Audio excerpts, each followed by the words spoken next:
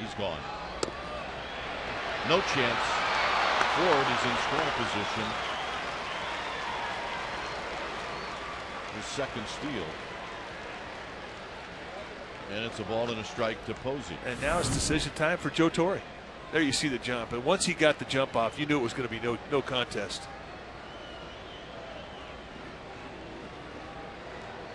Barajas just not given a proper chance.